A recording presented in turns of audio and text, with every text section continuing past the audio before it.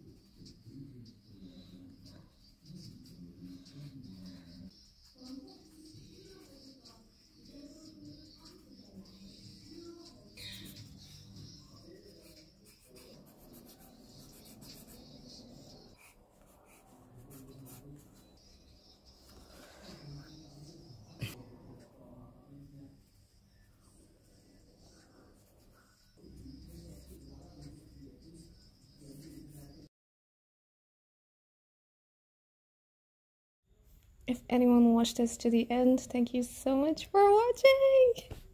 And please tell me which one you like the most and what I should draw next.